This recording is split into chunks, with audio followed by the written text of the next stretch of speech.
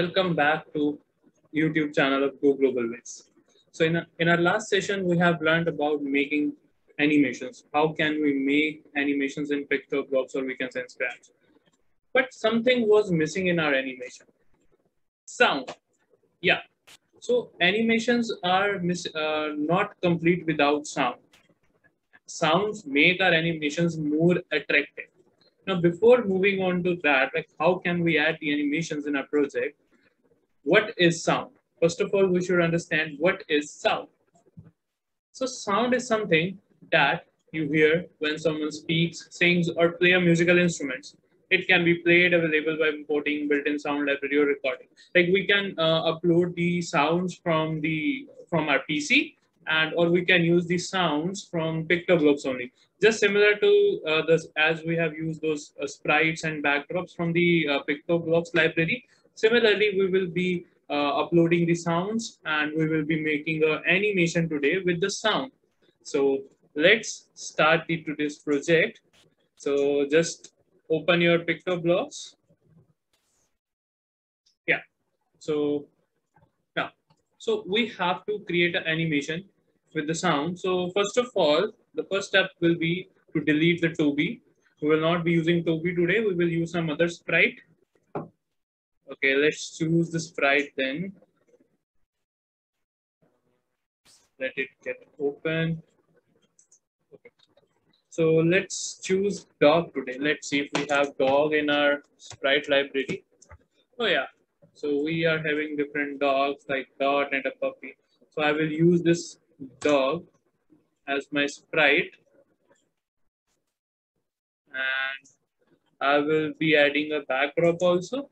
Let's add the backdrop for our project. Oh, your projects are not complete without any backdrop. It looks very dull without a backdrop. Like with a white backdrop, it, look, it looks very dull. So let's choose this jungle one. Hmm, I hope it's looking good now with the like this jungle backdrop and our dog sprite. So uh, what will be the idea of today's project? Like we will be uh, pressing our space key and our dog sprite will be moving on to some random position and it will be uh, like making some sound. So I hope you guys know uh, what sounds do do dogs make. So we will be adding that sound in our PictoBlox library first, from the PictoBlox library first. So what you guys have to do, on the top of your toolbox, on the top of your toolbox, we are having these three palettes. One is code, then we are having this costumes and then sounds. So what we have to do is just simply click on this sounds palette. Click on this sounds palette. Okay, so we are already having one sound over here. Let's see what sound we are having. Okay, perfect. So we are having this uh, dog sound over here, or we can check it in the library also, like if we are having any other sound. Let's type dog over here. Oh yeah, so we are having to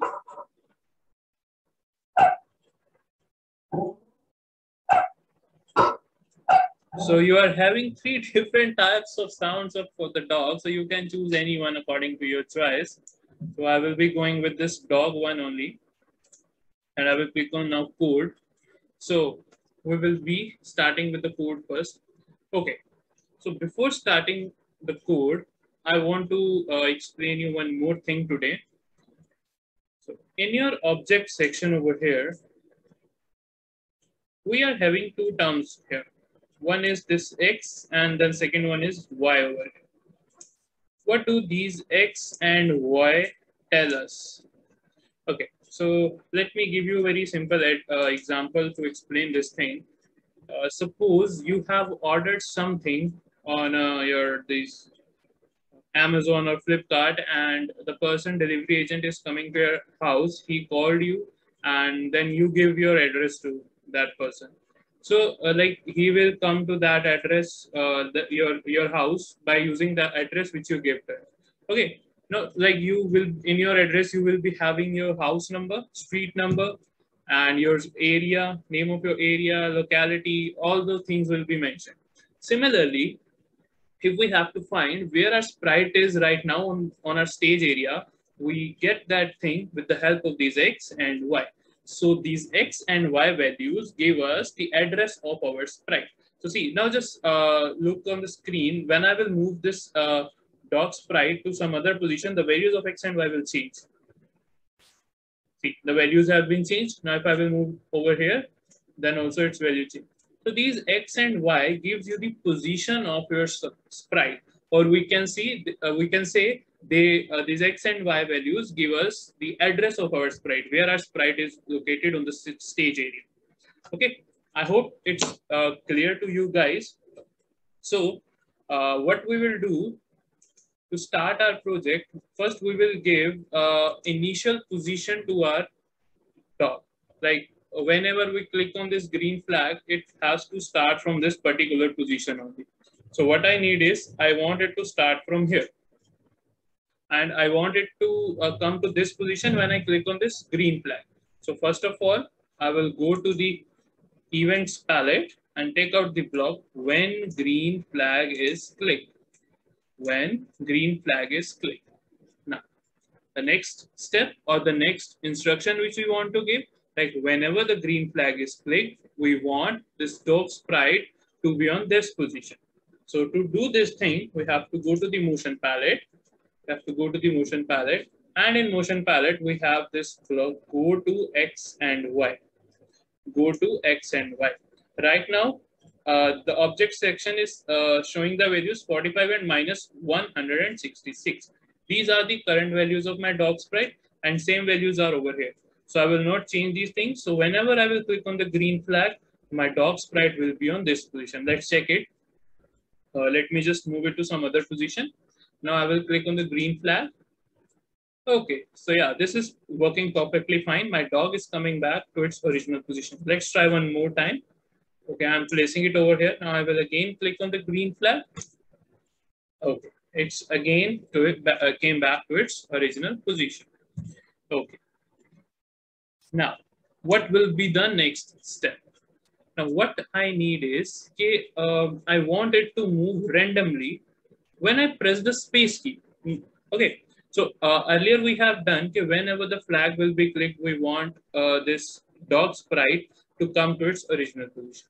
Now, the next instruction which I want to uh, give is, okay, whenever I press the space key from my keyboard, this dog sprite has to move to some random position, some any random position. So first of all, we will go back to the events palette, go back to your events palette and drag out this block when space key is pressed. Okay, and one thing more, it is not uh, limited to the space key only. If you want to do uh, give give this instruction with any other key, you can give that instruction with uh, another keys also. Like let me show you. When I will click on this uh, white triangle over here, you will get the list of uh, all the keys available in your keyboards, like space key, up arrow, down arrow, right arrow, left arrow, A, B, C, D, all numerical keys, no, sorry, alphabetical keys and numeric keys also. So you can choose any key. I will be going with the space key only. So whenever the space key is pressed, I want my dog sprite to glide at some random position.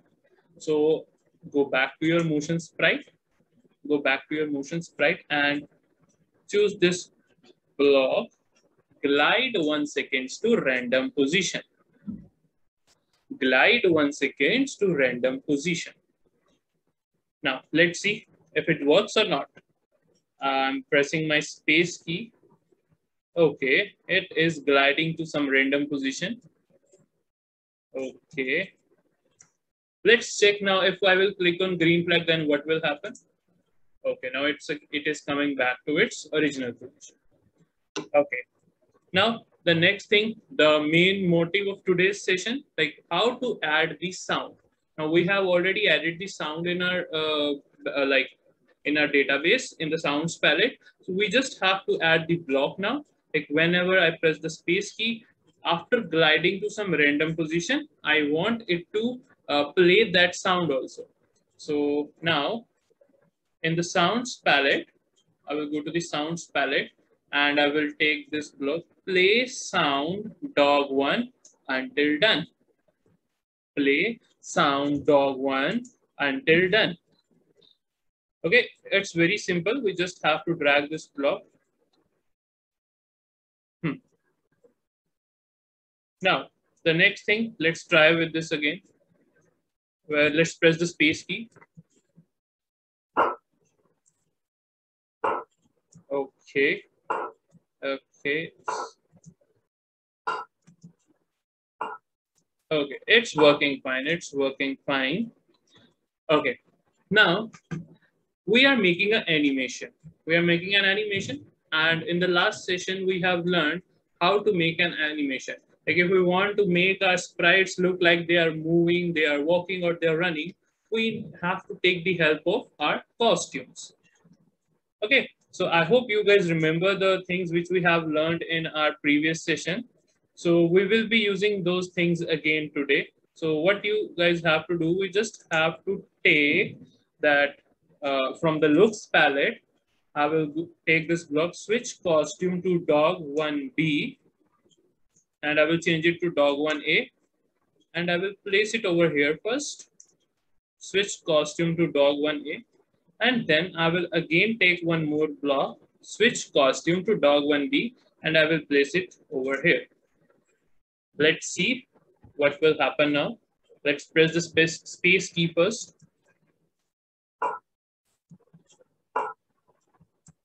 Okay, see, it is changing its costume. It, it uh, the tongue is coming out in the last when dog is coming to some random position. After barking, it is like after making the sound, it is taking out his tongue out. Now let's press the green flag. Okay, it's coming back to its position. Now see, when it is coming back to its position, his tongue is still out. So what we can do, we can add one block over here also in the when green flag play. Switch costume to dog 1B and I will change it to dog 1A. So that whenever we click on the green flag, it should come back to its original, uh, its first costume. Let's try it again. It's gliding to some random positions. Okay.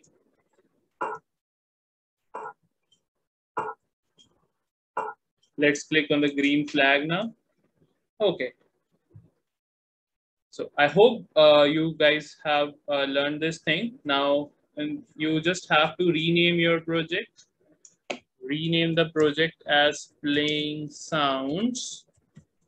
And then click on file and save it to your computer. So when you, okay, your file will get downloaded in your computer. I hope you guys have enjoyed the session. So guys, do like the video and subscribe to our channel for more interesting projects.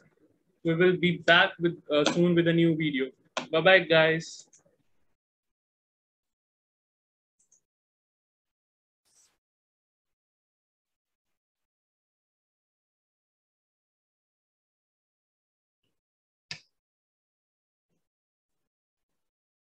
Música